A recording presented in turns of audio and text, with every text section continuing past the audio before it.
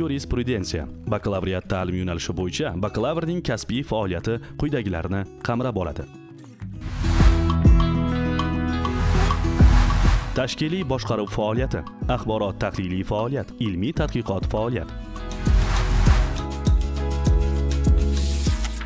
norma ijodkorligi faoliyati jarayonlari huquqni qo'llash amaliyoti jarayonlari normativ huquqiy hujjatlar loyihalarining huquqiy ekspertizasi jarayonlari milliy va xalqaro sudlar shuningdek xalqaro arbitraj va meditatsiya protsessi jarayonlari.